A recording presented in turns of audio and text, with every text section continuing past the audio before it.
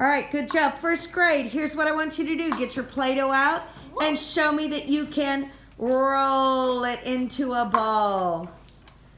First grade, get all your Play-Doh out and roll it into a ball. You can do that in your hands or you can roll it on your Play-Doh mat. Or the table. Good job. When you have your ball, hold it up in the air. Show me that you're ready. Good job. When you've got it, hold it up in the air. Good job, good job.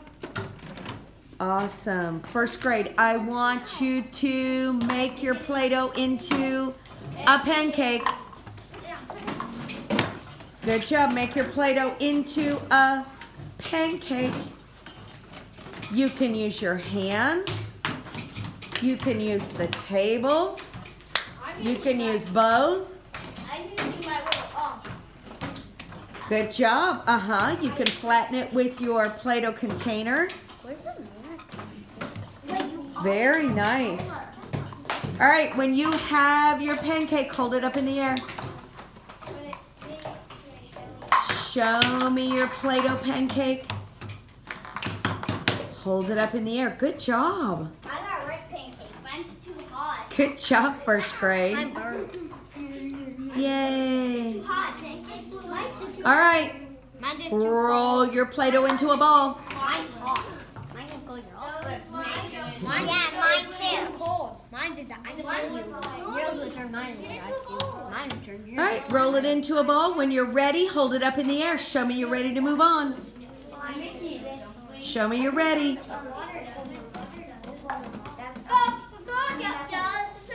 Good job. Are you ready? Good. Hold it up in the air. Good job. Now, I want you to form your Play-Doh into a volcano. Good job. Practice forming that Play-Doh into a volcano. Good job, guys. Remember, there's lots of different ways to do this.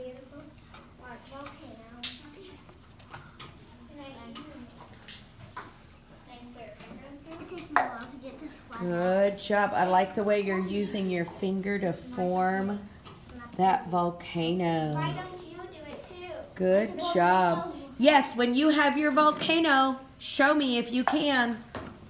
Show me your volcano. I made another technique. You make Good job. like the volcano shape and you do like the bowl. All right, I'm going to give you just about another second here. Dang it. Try to finish. Oh, good job. Try to finish that volcano. Look at mine. Good